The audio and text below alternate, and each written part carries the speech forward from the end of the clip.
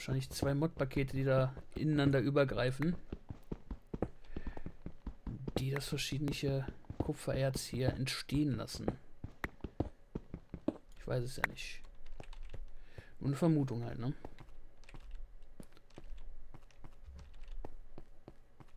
So, gucken wir da hinten weiter. Aluminium werden wir noch nicht brauchen. Ach genau, hier ging es ja in die Schlucht runter.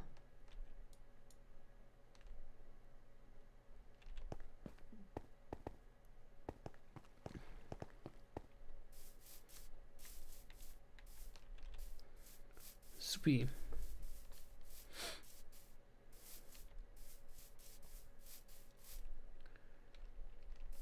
So, dann machen wir uns jetzt erstmal da vorne die schöne Treppe hin.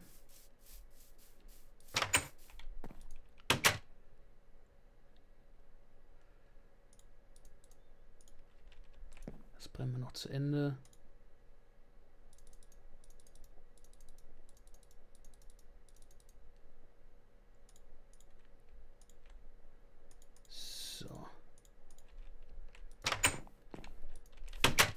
So nimmt unsere Gegend langsam aber sicher die Form an, die es äh, versprochen tat. Machen wir einen schönen Dreierweg hier hin. Also machen wir einen Viererweg hier hin.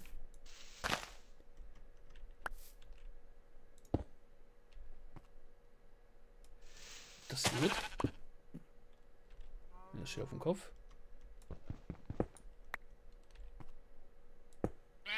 Jo, das geht. Wie geil ist das denn? Machen wir hier schön so eine Treppenstufen hin. Dann fangen wir an, hier alles wegzugraben.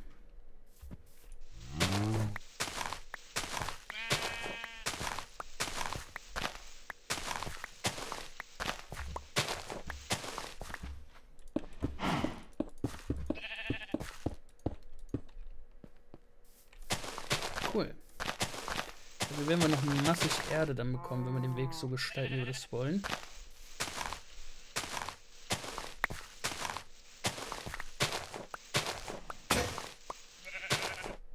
Jo, Steinschaufeln haben wir, sehr gut.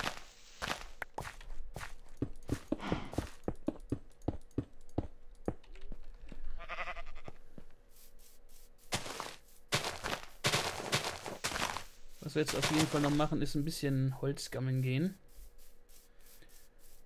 wir denn irgendwann auch den Raum unterhalb des Hauses gestalten können. Und natürlich das Haus vorne rum größer bauen.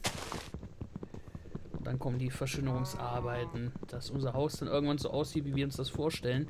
Oder wie ich mir das vorstelle.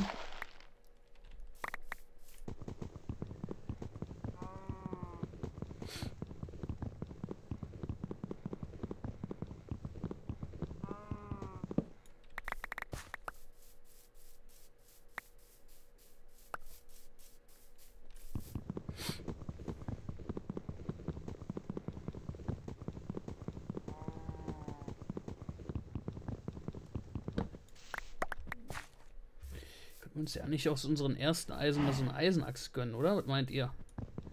Sind das Bären oder sind das hier... Wäre natürlich geil, wenn das jetzt Bären sind, statt irgendwie Rosensträucher.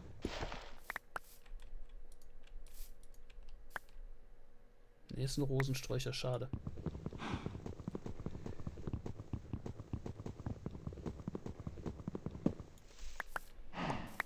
Ich denke mal, dann werden wir es so machen wie unsere werten Nachbarn, dass wir so Baumplantagen erstellen. Ist ein bisschen sicherer, glaube ich.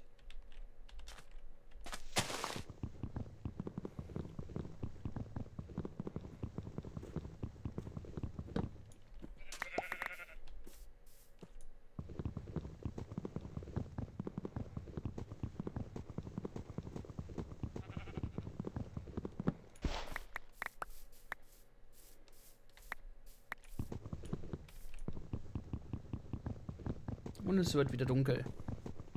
Ich glaube, die Dunkelheit wird hier unser größter Feind werden, ne? Wenn wir dann wirklich Blutmund haben oder so. Alter Vater. Wird doch richtig, richtig böse. Ne? Wie wir ja vorhin gesehen haben. Sonst werden wir noch schnell den Baum hier fällen.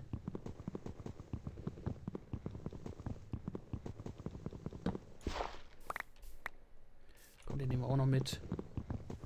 Und dann schnell nach Hause.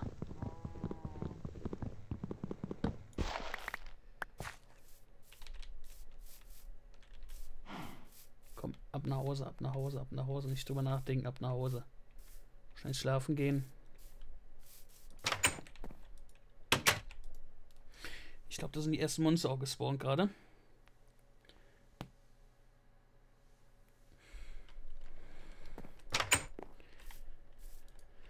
So. Ne, sind doch keine Monster gespawnt. Ja, die können wir hier dran klatschen.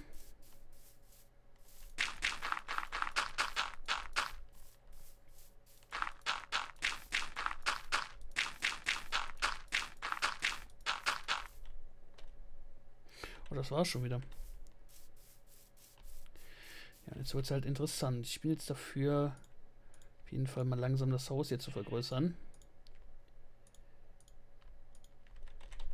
So. Jetzt mal einen Block hier unten rein. Ich weiß gar nicht, wie groß. Ich denke, für die ganzen Maschinerien und keine Ahnung was.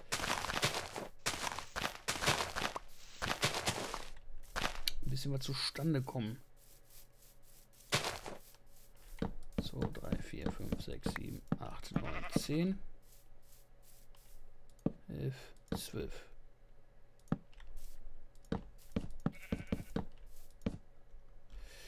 Ja, wird schon ein bisschen groß, aber wie gesagt, wir brauchen den Platz, denke ich mal, später auch. Und dann äh, sind wir, glaube ich, auch froh, dass wir so viel Platz generiert haben. Rum passen wir eh noch an.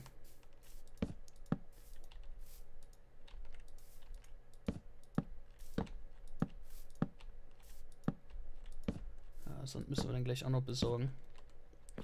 Werden wir, denke ich mal, ein bisschen was brauchen.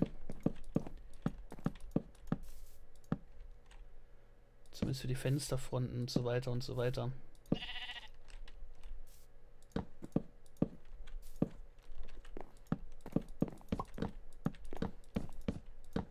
So.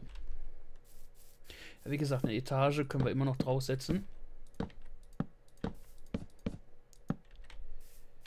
Wie es zum Schluss endlich aussehen wird, kann ich noch nicht sagen. Es kommt halt drauf an, was man hier für Möglichkeiten besitzt, Maschinerie zu bauen, also sprich, ob wir da Solaranlagen nutzen können oder was für Motoren und äh, solche Geschichten halt.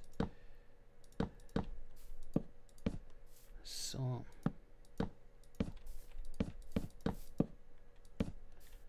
Auf jeden Fall ein Fenster hin. sagen, machen wir das hier dicht. Oh, Fenster von. Weißt du, was wir machen? Wir machen einfach Dreierfenster hier rein. So. Mal ein bisschen was Größeres. Haben mehr Lichtblick. Dann sollte das Ganze wieder passen.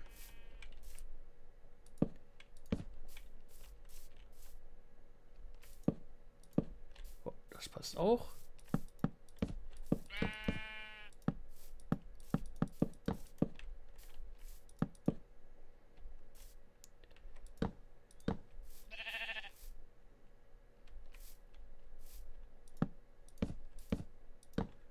So.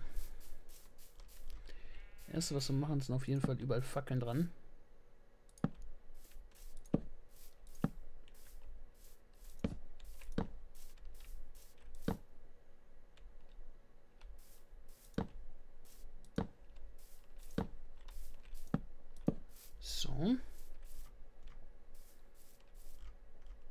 würde ich sagen, graben wir am liebsten erstmal den Boden aus.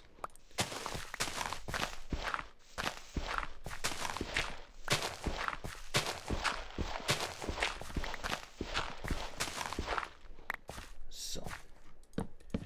Wir alles an Erde bekommen. Schnell raus hier. Zack. Und jetzt kann es losgehen. Einteilen können wir die Räume immer noch später.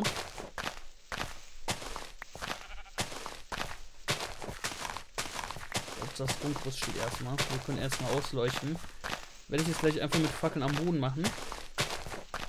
Wie gesagt, Innenausstattung später können wir immer noch verfeinern. Auch das Aussehen des Hauses. Aber Hauptsache, wir haben erstmal genug Platz, uns auch häuslich richtig niederzulassen.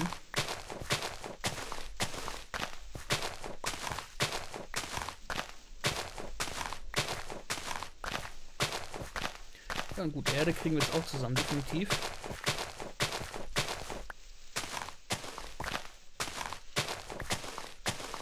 Dann kriegen wir das eine Loch doch schon mal zu. Und die Stufe später auch bestimmt lustig noch zu erkunden.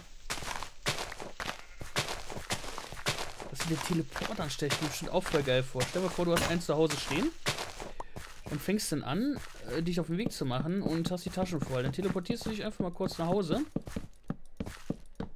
und äh, leerst dann praktisch die Taschen, um praktisch weiterziehen zu können. So stelle ich mir das vor. Keine Ahnung, ob es so ein Item-Teleporter ist oder ein Personenteleporter. Wäre auf jeden Fall richtig nice, wenn man dazu überlegt.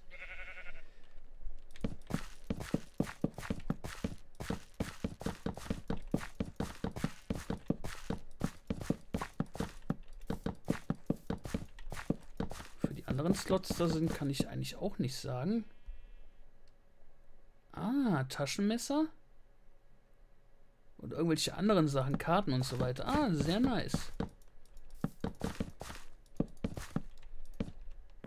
Etwas so in der Art wie eine Gürteltasche, sage ich einfach mal dazu.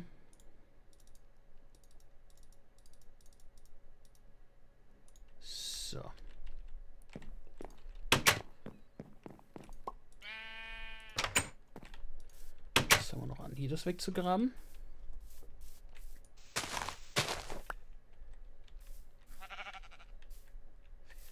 Sechs.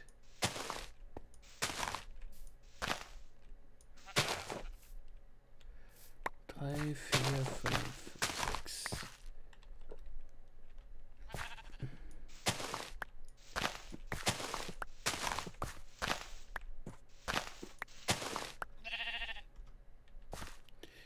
War schon zu viel, glaube ich. Okay, dann machen wir das wieder zu. Ja, da haben wir ja jetzt, ne?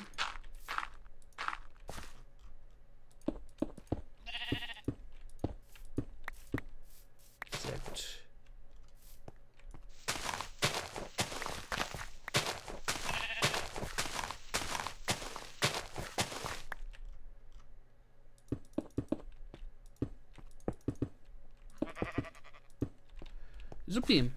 Cool.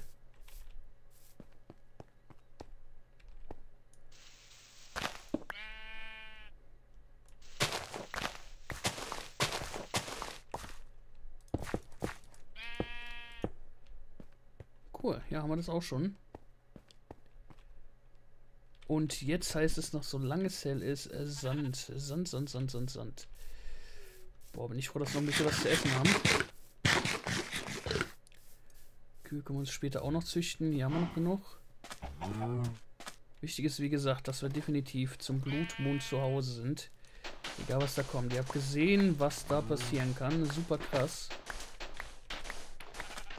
Ich dachte noch Blutmond. Ja, aber schmeckt das wohl heißen? Kommen da Werwölfe? Nein. Das heißt, extremes Monster aufkommen. Leck mich fett, ey.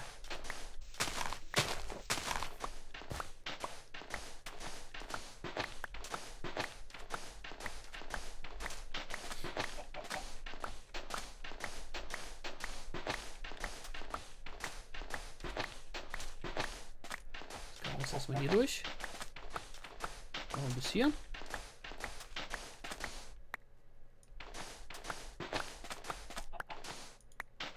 So. Und dann graben wir uns hier so lang. Die Schaufel kaputt. Habe ich noch eine? Ne.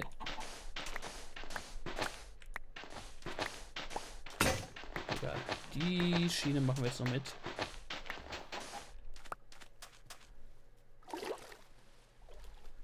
Hier schwimmt ein Ei, was sich dreht. Dann machen wir jetzt hier noch das Loch zu.